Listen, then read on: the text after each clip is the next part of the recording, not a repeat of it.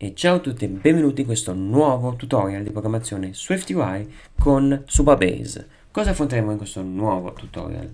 Allora, prima di vedere cosa affronteremo generalmente con questo nuovo tutorial, andremo a vedere quello che abbiamo fatto in precedenza.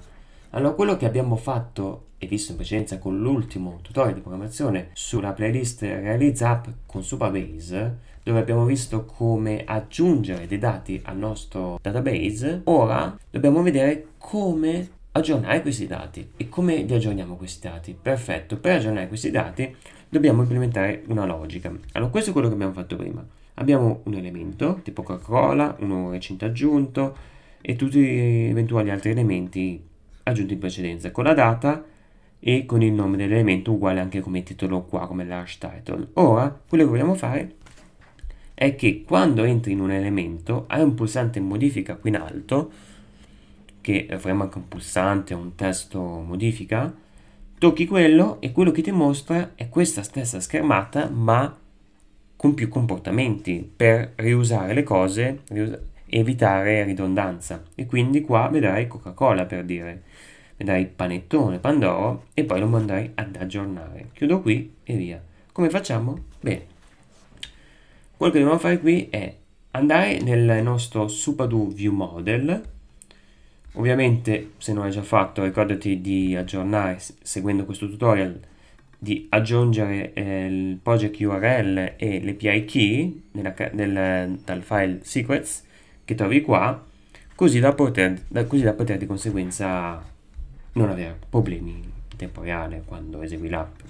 Ora andiamo a modificare la funzione update e quindi cosa facciamo? Bene, quello che facciamo in questo caso per aggiornare il eh, nostro elemento è semplice. E per fare ciò quello che dobbiamo fare è prima di tutto dobbiamo creare un'istanza, una copia di quell'altro valore come semplicemente facendo var item to update che è uguale a shopping che è il modello. Così possiamo operare e di conseguenza essendo una costante da questo parametro qua.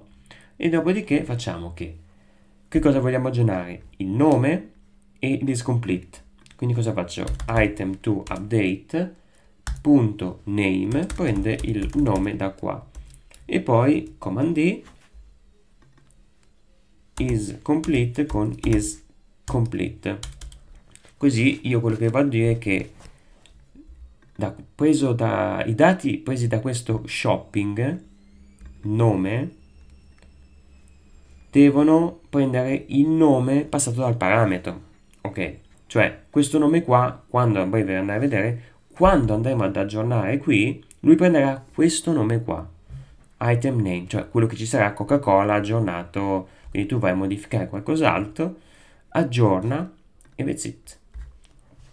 Ok, è uguale per is complete. Attualmente non è stato impostato un comportamento per il check, ma verrà successivamente fatto in qualche tutorial più avanti.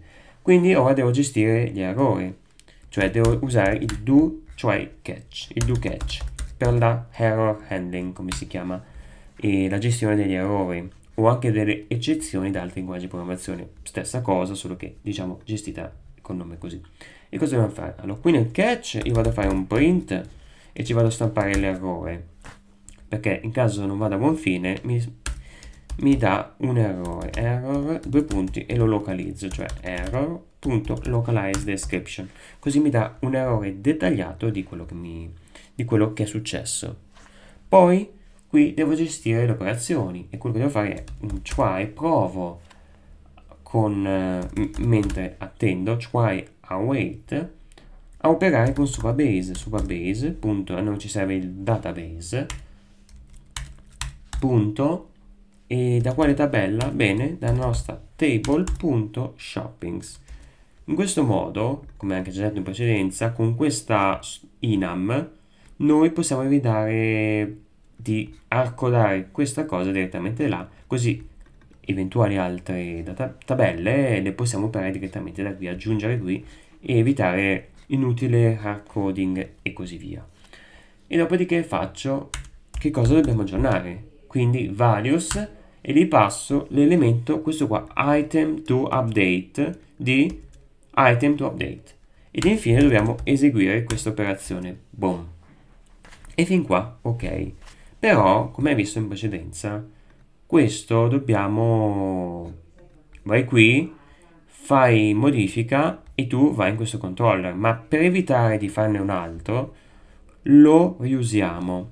Inoltre evitiamo sia di creare un ulteriore add, quindi edit, che si può anche fare, ma è un'inutile un ridondanza, ma riusiamo questo qua. E per far ciò lo chiamiamo in realtà possiamo chiamarlo varie operazioni io lo chiamo operation operation view che ci può anche stare rispetto a item view operation view quindi questo qui lo vado a nominare qua e di conseguenza qua uso una funzione utile molto comoda refactor di rename. E quindi qua boom command v e me lo rinomina in tutte le parti dove deve essere rinominato ovviamente facciamo command B per accertarci che sia tutto ok. Sembra tutto ok e allora adesso è ora di operare con l'aggiorna l'elemento quindi per far ciò dobbiamo metterci in gioco allora l'operation view che adesso deve gestire quello noi nell'operation view dobbiamo aggiungere un'ulteriore variabile una costante che si chiama shopping item di tipo shopping optional che è il modello. Perché in questo caso optional ci permette di, di capire se siamo in modifica o in aggiunta. Cioè se stiamo andando a modificare un elemento quindi non è nil allora c'è esiste quindi lo stiamo andando a modificare altrimenti lo andiamo a lo andiamo semplicemente ad aggiungere. Però per far ciò dobbiamo gestire tutto, quindi fuori dalla toolbar qui, cioè all'altezza delle form qui, quindi fuori dalla toolbar dobbiamo aggiungere un on appear, perché così noi possiamo vedere se stiamo aggiungendo o modificando un elemento. E per far ciò facciamo if let shopping item e quindi siamo in edit to do item altrimenti add new to do item quindi se andiamo a modificare questo elemento quindi let shopping item qua giusto ovviamente anche qua si lamenta quindi per far ciò qui lo faccio nil in questo caso a livello di preview ma qui cosa faccio? Allora, quello che vado a fare qui adesso è leggere quel valore, cioè andando a sovrascrivere in realtà il campo qua.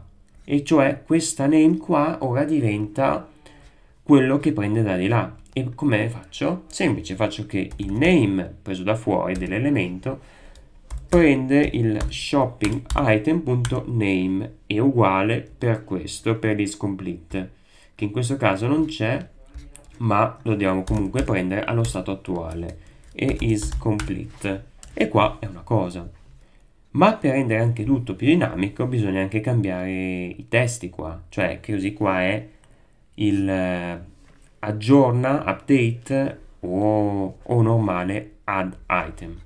E così via. Altrimenti se add fai quel che devi fare. Però questo testo qua ovviamente è qua però adesso ci limitiamo principalmente alla logica, che è la cosa più interessante. Questo poi lo vediamo dopo, ma il cambiare questi titoli qua è semplice e principalmente la logica starà mutualmente esclusiva qui, non appear e comunque in questi controlli qua. Quindi ora è così. E quindi quello che vado a fare qua è che se sto andando a modificare un to-do item, fai che questi qua prendono questi nuovi elementi qua, e poi gestisci tutto quello che deve fare. Però devi gestire anche il save item qua, perché anche, anche lui giustamente deve gestire questa, questa condizione qua, questo specifico controllo qua. Ma come facciamo per gestire questa cosa qui? Bene, per fare questa cosa qui, quello che dobbiamo fare è che questo save item ora diventa, lo faccio refactor, cioè seleziono il nome del metodo, anch'esso è refactor rename e lo chiamo operation operation item così è generico però, però per gestire quella cosa lì dobbiamo fare come abbiamo fatto qua quindi questo qui che posso gestirlo, non so, fammi pensare, potrei anche farlo direttamente tutto nei leaflet, cioè il task, e qui dentro, perché alla fine sono tutte operazioni che devono essere gestite lì, e quindi cosa faccio qua? Posso fare così, allora, questo fetch to items, allora faccio così, cosa faccio? Allora faccio che if let shopping item e quindi sono in edit. Edit to do item vabbè, comunque qua lo vedi anche edit to do item. E quindi ok. Altrimenti sono in aggiunta e quindi questo qua semplicemente qua. E quindi qua qua qua qua. Però noi dobbiamo modificare questo elemento in questo caso. E quindi cosa facciamo? Dentro il qui dentro il leaflet shopping item dentro il primo blocco di codice, quello che vado a fare è fare, allora il task non mi serve perché già lo gestisco qua e giustamente posso evitare richiamarlo molteplici volte, ma qui dentro faccio un await, il nostro view model, che in questo caso è supado view model, e quindi cosa faccio? Await supado view model, la funzione update update di shopping, il nostro shopping item, ok, con eh, i dati ovviamente anche quelli presi da noi, name e is complete, quindi name e is complete. E facciamo di conseguenza anche questa chiamata di questa funzione perché così possiamo dirgli di aggiornare questa cosa qui. Cioè di aggiornare gli elementi nella fetch to do items. Ora faccio command B, come vedi ci sono degli errori, ma questo è normale perché questo elemento viene modificato da qui. Ma se voglio modificarlo da qui faccio operation view di SuperDuView Model, SuperDuView Model e shopping. Questo perché vengo nella home e nella home posso farla assente. Però nella detail view devo implementare la logica per mostrare quello lì, perché adesso c'è nel SuperDuView Model c'è l'algoritmo, cioè c'è l'operazione del database che abbiamo fatto, però dobbiamo testarla e quindi vado nella detail view e qua quello che devo fare è principalmente aggiungere una funzione di stato add state private var eh, edit eh, item to do anzi edit can edit shopping anzi edit shopping item che di default è false come valore iniziale edit, edit shopping item e di conseguenza fuori dalla lista qui faccio un punto.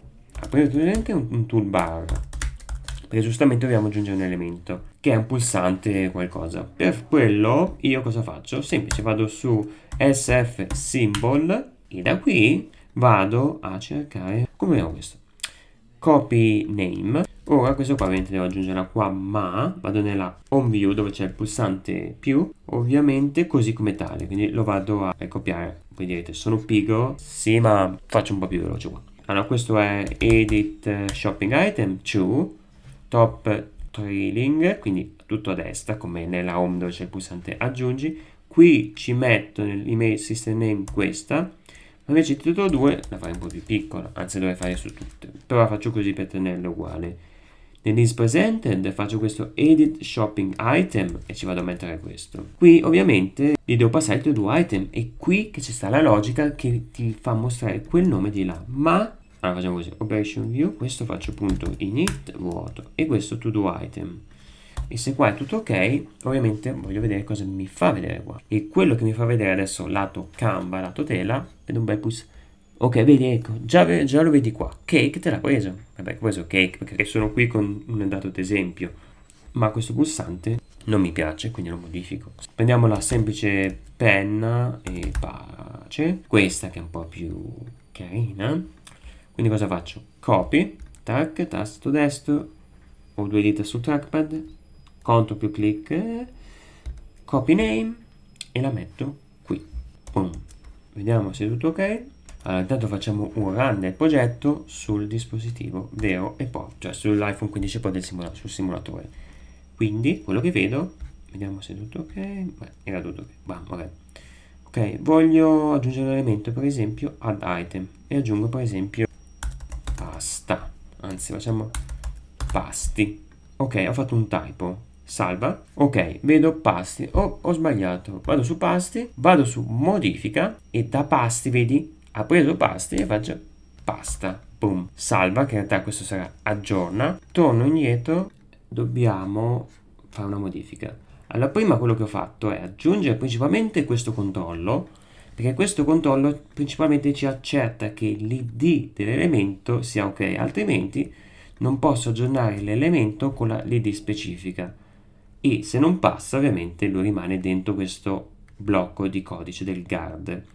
In caso ok l'id c'è, allora passa oltre. Quindi solito controllo questo qua, poi item to update prende shopping da qui, dove item to update che è un'istanza alla fine di shopping della structure, punto name, punto iscomplete prende il name qua e l'iscomplete qua e qui ovviamente gli aggiungo la funzione EQ, funzione qui ci permette di controllare la colonna ID con i valori ID dello shopping item e poi è tutto solito. Dopodiché per far sì che si aggiorni in tempo reale devo fare dei controlli in delle parti specifiche, solo per far sì che si aggiorni in real time e per far ciò perché io adesso eseguo qua e come vedi qua ho acqua e pane. Io sono un altro, aggiungo pan, Pandora oh, ho fatto un typo, boom, ok, solo che se modifico Pandora qui io voglio che si aggiorni sia qui, che ovviamente dirà, e se adesso faccio Pandora, ok, qui non me lo aggiorna, e quindi anche, e l'unico modo per aggiornarsi è chiudere l'app e rientrare, ma non è il modo giusto. E come faccio per fare ciò? Devo chiamare questa fetch to do items, questa funzione proprio in questo modo qua, cioè nella vista di dettaglio che quando si dismissa mi mostra quello. Ovviamente qua è SuperDuView Model e la vado a mettere qua. Quindi questo SuperDuView Model qui sotto diventa questa roba qui. Così quando la vista si dismissa e torna in questa vista te lo aggiorna, quindi ti fece to do items. E di conseguenza anche nella home devo applicare anche questo aggiornamento qua, così, cioè punto on appear eseguo il tutto con il task per eseguire il lavoro in modalità asincrona e dentro, come fatto qui, faccio try await fetch to do items. Così. Faccio command B e faccio command R, cioè eseguo l'app. Ok, ora voglio cambiare Pandora in Pandoro e quindi Pandoro. Ora faccio save e qui dovrebbe aggiornarmelo. Ok, comunque me lo aggiorna quando torna qui. Per questo fatto qui, che non te lo aggiorna quando dismissi questo, in realtà lo si può far scattare anche da qui. Quindi invece fa così, posso, no, nella home view va bene. Il problema è ovviamente nella detail view, cioè dove vado a mostrare questa schermata. Quindi invece di farlo qui, perché qui lo sto facendo all'altezza di qui, al, vedi qua, Pandoro, edit, quando fai salva però in realtà quando faccio salva io già lo sto facendo no? Operation view vedi qua. Io da questo qua ok. Anche quello bisogna capire bene perché vedi vado qui su Adobe Model aggiungo un altro elemento per esempio test salva qui me lo mostra vado su test modifico testo salva e vedi che è test testo, però lì me lo fa subito. E qui si può fare anche in modo diverso. Comunque questo è tutto. Abbiamo visto come aggiornare il testo e come aggiornare tutti i vari elementi della to-do.